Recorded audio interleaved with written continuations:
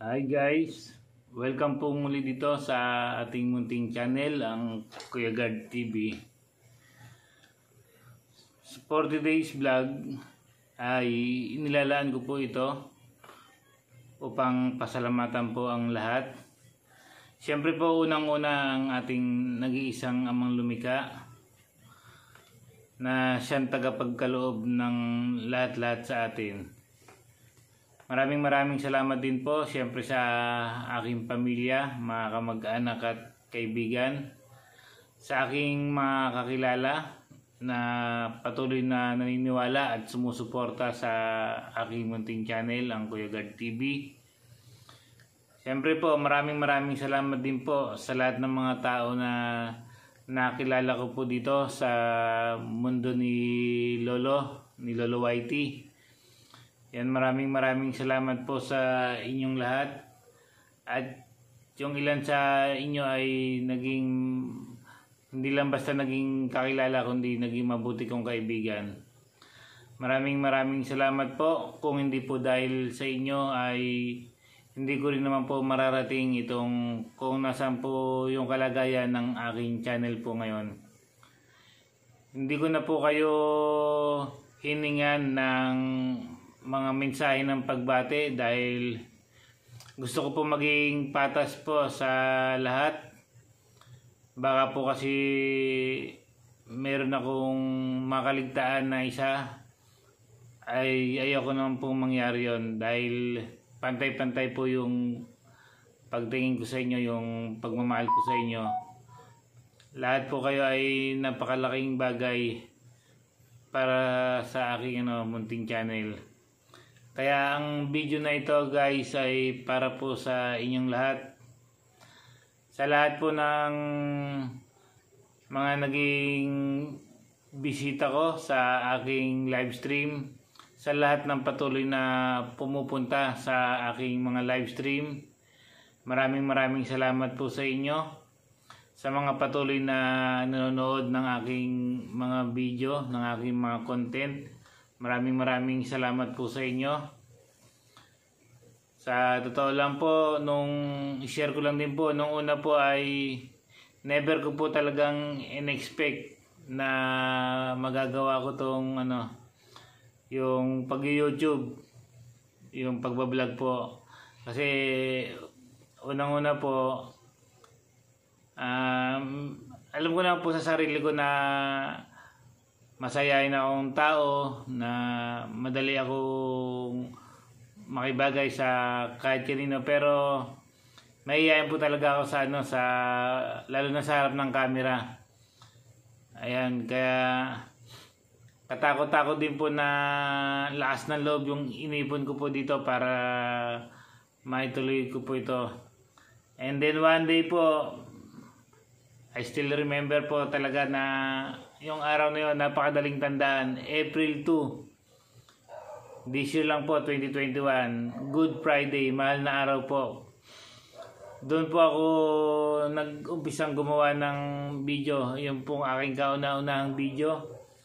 Yan, alam nyo po yan, lalo na po yung mga nakapanood po to. Yung aking ano, paglalaba. Diyos ko, day. Sa totoo lang, ako yung unang-unang natawa nung pinanood ko yung ano na yun, yung video na yun. Unang-una, nung napanood ko sa loob-loob ko, wala stick, ganito pala itsura ko sa camera.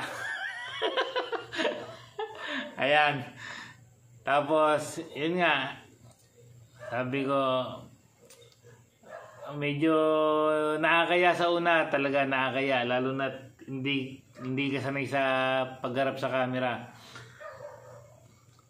Tapos iniisip mo pa yung ano yung sasabihin ng mga kakilala mo o baka sabihin na wala tol pati ba naman yan pag YouTube pinatos mo na unang-una hindi ka bagay dyan yung mga ganun ba kahit pabiro masabihin na o tol anong tinira mo Ba't pati ang kinana mo na? O di ba? Ay mga ganung bagay. Lalo na alam nila na parang wala sa karakter ko na papasukin yung pagbablog. Kasi unang-una, yun nga, until now, yung mga video ko nga, walang ka-edit-edit yun eh. Talagang, ano, sabi nga, walang halong chemical. All natural guys. Pag ano, pagkagawa ng video, diretso upload, pak, yun na yun. Ay, Diyos ko dahil. Pero, siyempre, tumagal lang tumagal, lumipas ang araw, linggo, at ngayon, ilang buwan na rin, na nakakasanayan ko na rin na gumawa ng kahit ano-anong content, basta lang may, may update dito sa aking channel. At nababawasan na rin po yung pagka mahihain ko sa harap ng camera. Ayan. Although hindi naman po talaga ako mahihain sa personal, sa camera lang po talaga. Tapos, yun nga, tapos nagkaroon ako ng mga kaibigan, ng mga kakilala, na siyempre bukod sa aking pamilya at mga kamag-anak ay kumbaga nagpapalakas din ng aking loob para magpatuloy magpatuloy sa kung ano man yung kaya ko at posible kong gawin para siyempre po para maging produk produktibo uh, and later on kumita ng pera kahit pa paano siyempre para sa pamilya Uh, basta hindi ko po talaga kayo makakalimutan guys. Maraming maraming salamat po. Lalo na po sa ating mga araw-araw na ano na pagpag-ugnayan, pag komunikasyon. Ayan, hindi napaka-importante po niyan. Maraming maraming salamat sa inyo guys. At kung hindi po dahil sa inyo, talagang sigurado po ako na hindi ko po kaya tong ano, yung mga required ni Lolo. Unang-una pa lang sa 1,000 subscriber, kung sa kung sa sarili ko lang talaga na pamamaraan kung wala din ng mga kaibigan na umalalay sa akin po talagang doon pa lang hindi ko nakakayanin what more pa doon sa watch hour na 4,000 watch hour. Talagang napakahirap po bunuin yan kung hindi mo talaga sasamahan ng iba yung tiyaga. At syempre, pagpupursigi, determinasyon. Kaya yun sa mga may advice ko din po, lalo na po sa mga mas bago pa po sa akin dito sa larangan ng pagbablog Uh, bukod po sa pag-upload po ng mga video, dapat po talaga meron kayong mga live stream or, or yung tinatawag nating LS. Kasi yun po talaga yung ano, yun yung malaking bagay na makakatulong para ma-meet natin yung required ni Lolo YouTube na 4,000 watch hour. Kasi yung isang live stream kung madalas ka mag live stream tapos kada isang live stream mo at least maka 3 hours ka araw-araw depende sa availability mo. Malaking bagay po yan. Siyempre sa una dadaan ka muna sa StreamYard dahil hindi pa sapat yung subscriber mo para maka-direct ka ng pag ng pagla-live stream kay YouTube. Pero later on naman, basta lumagpas na yung subscriber mo ng 1,000 subscriber, until then, pwede ka na mag-live stream direct kay YouTube. And pag nagawa mo yon dun na mas makaka-ipon ng, ano, ng watch hour.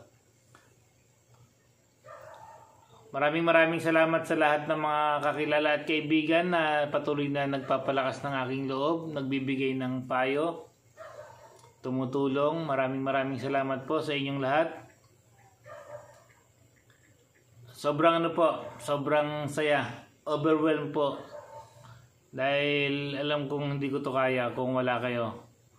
Maraming maraming salamat po sa inyong lahat. Muli po, pagpasensyahan niyo na po si host at hindi ko na po kayo mapangalanan isa-isa. Pero alam ko po na alam nyo na kung sino kayo. Alam nyo na na kayo yung karapat dapat kong pasalamatan pagalayan ng video na to. Maraming maraming salamat po. Hanggang sa muli po natin pagkikita-kita at pagkaka pakikipag-ugnayan sa isa't isa sa ating mga channel. Maraming maraming salamat po. At sa mga bago pa lang po na makakapanood po na itong video ko na ito, makikisuyo na rin po. Baka naman pwedeng maglambing si host, si Kuya Gard TV. Paki-like po yung aking video and syempre paki-share na rin po para mas maraming tao pa po yung makapanood. Paki-subscribe na rin guys and hit that notification bell para naman po maging updated kayo every time na meron pong bagong update sa aking munting channel.